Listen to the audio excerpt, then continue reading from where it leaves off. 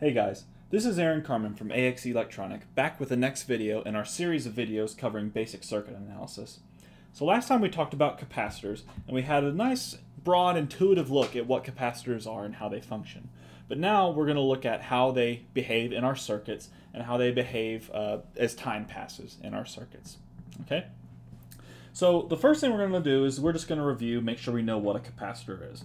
So a capacitor is just two plates separated by some distance. Okay, and that separation, uh, if if we put charge into it, what it's going to do is there's going to be a charge build up on one plate of positive charge. On the other plate, there's going to be negative charge. Okay, so we're going to be storing energy in an electric field in that capacitor.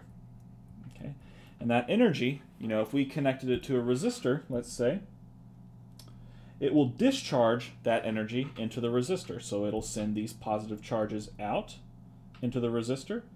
Okay, and then those positive charges will come over here and then cancel out with a negative charge. So it'll discharge itself through a resistor like that. Okay, so what we know is that these capacitors can charge and they can discharge. So let's first look at how we charge a capacitor. Okay, so let's start off with just a very simple circuit like this. So we have a voltage source, which I'll call Vs for now. We have a switch, which will be important, then we have a resistor and a capacitor. And that closes the circuit. So that resistor is going to have a resistance R and the capacitance, or a capacitor, the capacitance of C.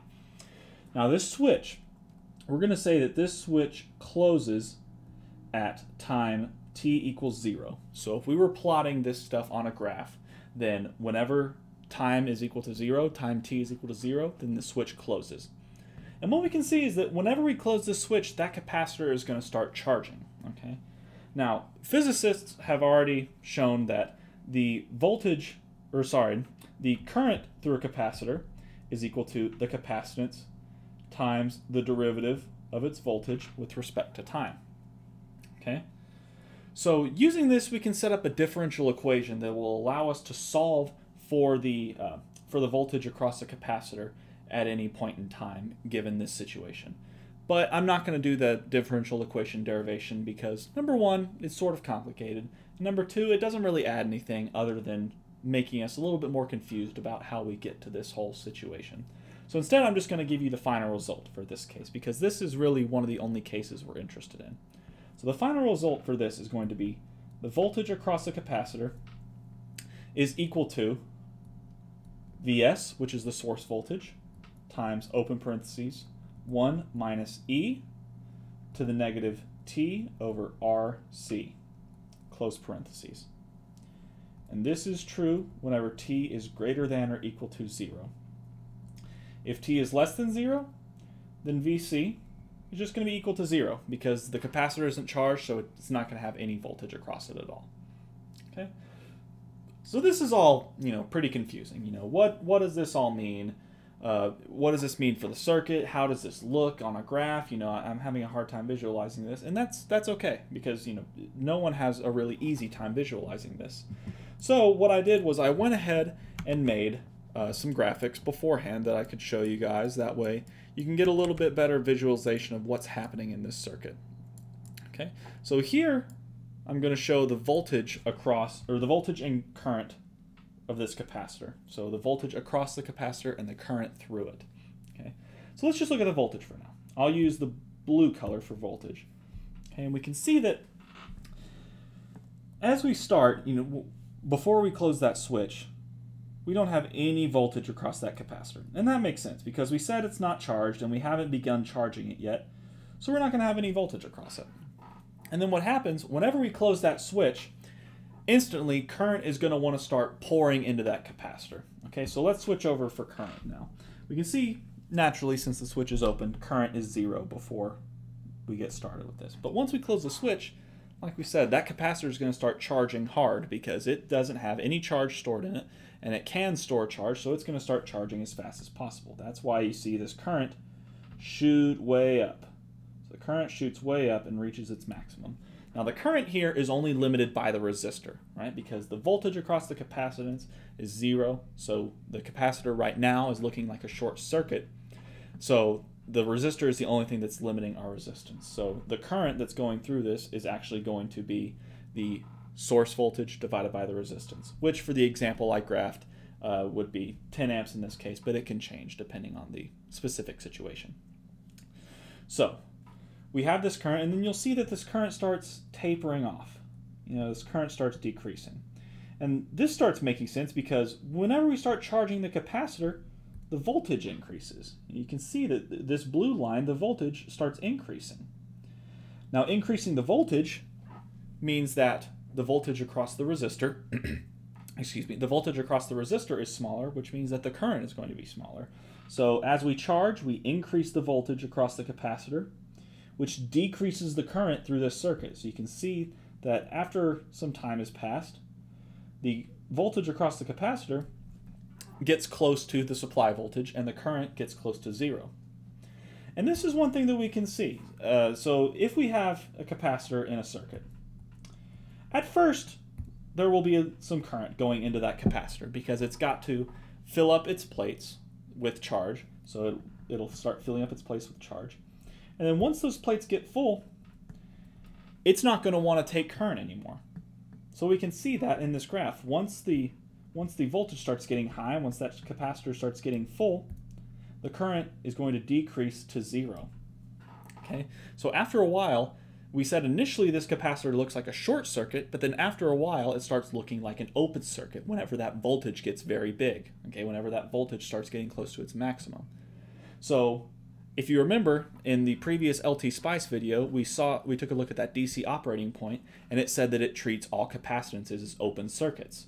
And that's that's what we can do to sort of simplify our circuits is treat capacitances as open circuits because after the circuit has been running for a long amount of time, you know, think minutes or hours, then a capacitor is going to be charged and it's not going to have any effect on the DC operating point of the circuit. Okay, so this is an example of a charging capacitor. We can also look at a discharging capacitor. So let me give you another circuit like that. So we actually don't even need a source for this one. All we're going to have is a capacitor and a resistor. And I messed up, so for these, we're going to need a switch. This switch is going to be the same way, closes at t equals 0. This capacitor, or this capacitor has a capacitance C. And we're going to say that it is initially charged to a voltage of VC and I'll use, uh, I'll put in parentheses zero here. So that means the voltage across the capacitor at time zero, or its initial voltage, is going to be VC0. Okay? And then this resistor just has a resistance of R. So let's think about this conceptually before we get into before we get into the math.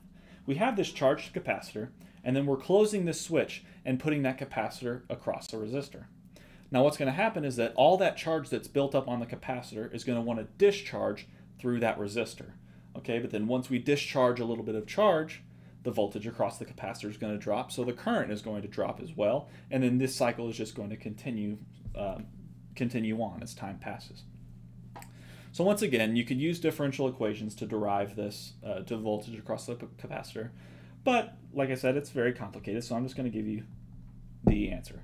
So the voltage across this capacitor is equal to VC0, or the initial voltage on the capacitor, times E to the negative T over RC.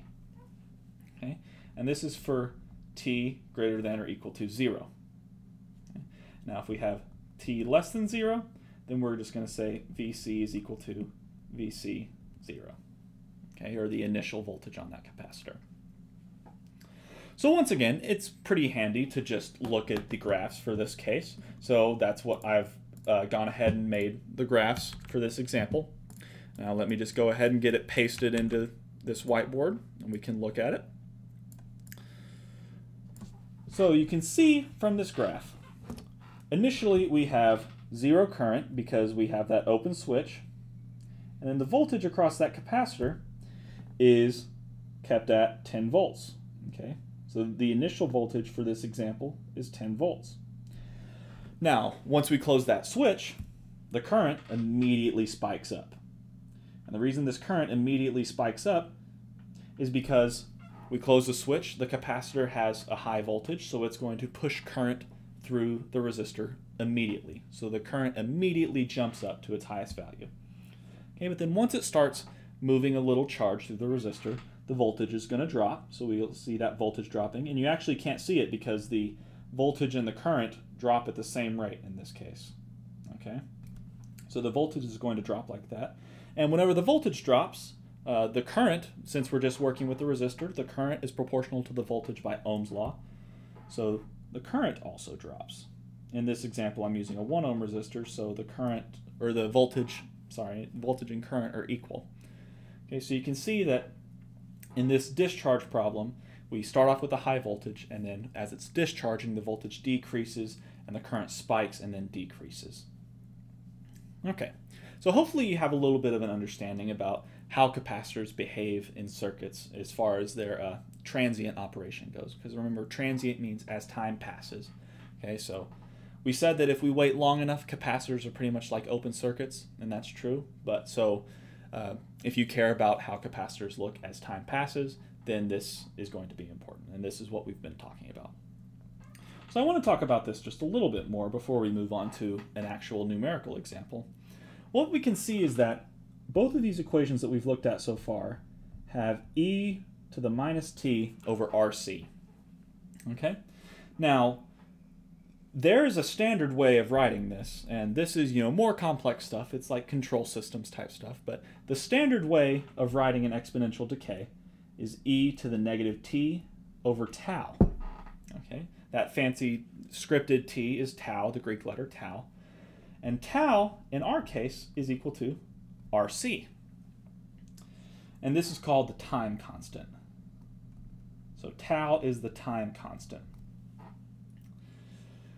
So we can experimentally sort of determine the effect of tau on uh, the transient response of these or these resistor and capacitance circuits. Uh, but I'm just going to go ahead and tell you, you know, what is the significance of tau? And tau is going to correlate with a couple of things. So I'm going to give you the intuitive example first. That an increased tau pretty much equates to a what I like to think of as a slower circuit. So the reason I say slower is because it's going to take more time to charge, more time to discharge. So if you have this if you have this higher tau, this higher time constant, it's going to take more time to charge and discharge. So you can think of that as like your circuit is just moving a little bit slower. It takes more time to do things. Okay, whereas if you have a smaller tau, then you have a faster circuit because it, it charges very quickly. So you can think of tau as sort of like the speed of the circuit. So if you have a high time constant, then that's going to equate to a slower circuit. Now, once again, I'm not just going to leave you hanging on this and make make you have to visualize this. So uh, I once again plotted the effect of tau. Let me get this pasted into the whiteboard, and then we'll talk, we'll look at it. So here we have the voltage across a capacitor plotted for two different values of the time constant. So we have tau is equal to 1 and tau is equal to 2.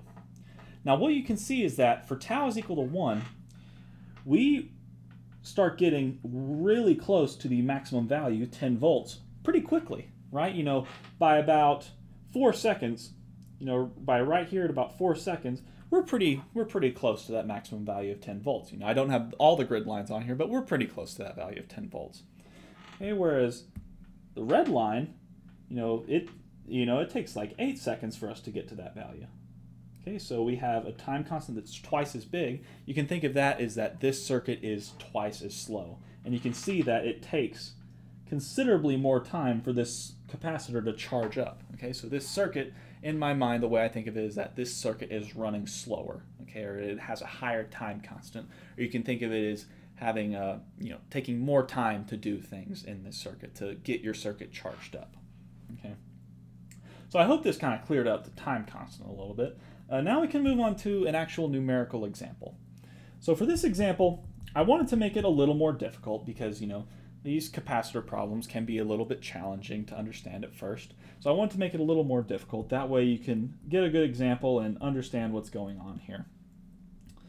So you can already tell right off the bat that This one is a little more complicated because it has a structure that so far we haven't seen. Okay, so let me go ahead and finish drawing this. You can already tell it has a capacitor, a source, and a resistor. So instead of an R, I'm just going to put 10 ohms here. This capacitor is going to be 0.1 farads. Okay, and we have that 5 volt source. Now I'm going to add a note here.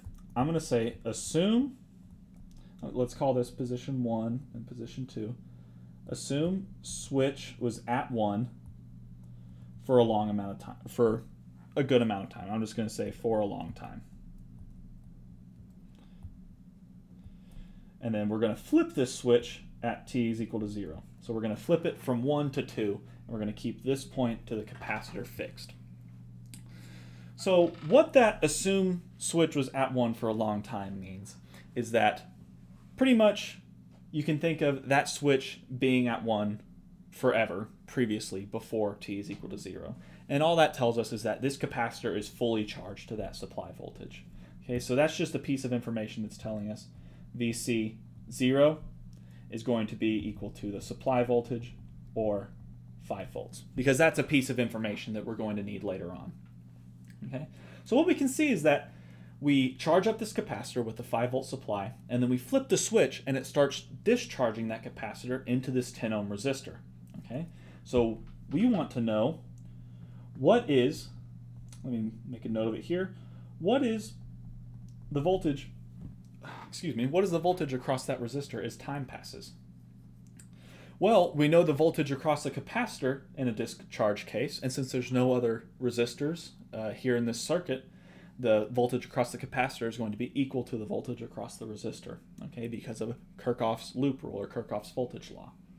So we can say that VR is equal to VC. And we know the equation for the voltage across a capacitor whenever it's discharging, right? Because we said previously VC is equal to VC 0 times e to the negative t over tau. Right? So I tried to trick you there. I'm going to ask you, what is tau equal to?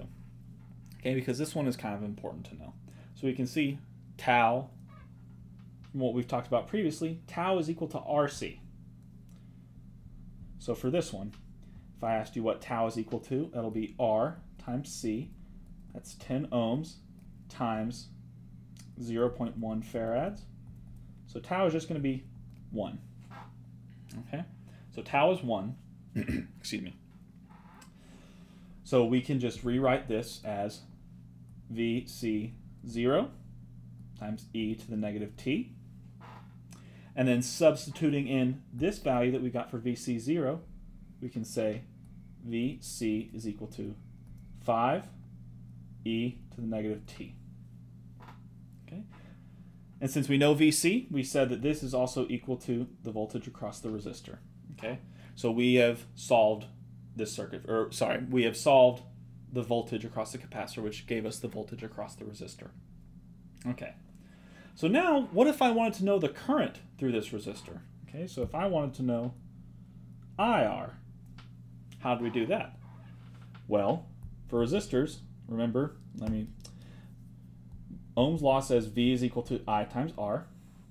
So if we want to know I, that's just going to be the voltage across the resistor divided by the resistance. Okay?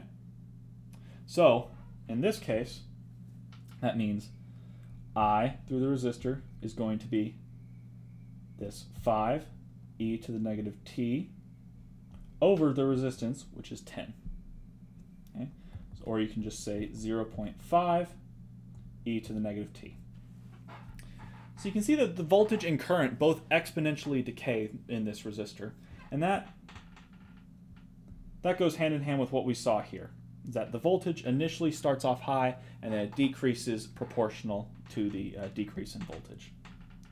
Okay, so the last thing we're going to do is that we're going to go ahead and graph this, okay? And I'm going to save you the trouble, and I'm just going to show you this so you can see the actual response. So let me get this posted into the whiteboard. Let me come down here and post this. Alrighty. So from this, we can see that there is initially a high voltage across this capacitor, shown by the blue line. there's initially no current through the capacitor, shown by that red line. And then as soon as we turn the circuit on, the current is going to increase to its maximum. Its maximum is going to be 0.5 amps. So here is going to be 0.5 amps. And if you ignore the units, ignore the units here because those aren't correct. So here at the maximum, it's going to be 0.5 amps. The maximum voltage is going to be 5 volts. And then it's going to, they're both going to decrease as time passes. So the voltage is going to decay exponentially, as well as the current will decay exponentially. Okay. So this is an example of a problem that you might see. You know, if you're if you're in electrical engineering, you might see this on your circuits exam whenever you start talking about uh, capacitors and DC circuits.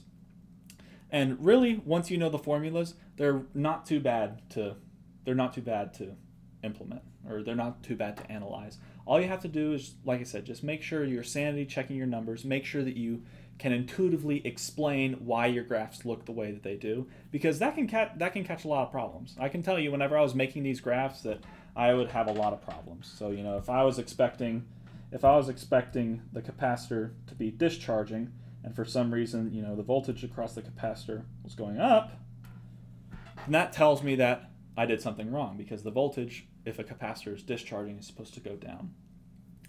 So capacitors, they're a little bit hard whenever you implement them numerically or whenever you're analyzing them numerically, but intuitively, uh, they're not too bad to analyze. And having that intuitive understanding is what's really going to help you out and make sure that you're doing everything correctly whenever you absolutely need to. So if you have any questions, please feel free to leave them in the comments below. If you like this video, please feel free to give me a thumbs up and subscribe. Uh, you know, I, like I said, if you have any questions, I'm more than happy to answer them. I know I probably didn't explain everything in super fine detail, but I just want to keep uh, the discussion broad. That way we don't get bogged down in the details.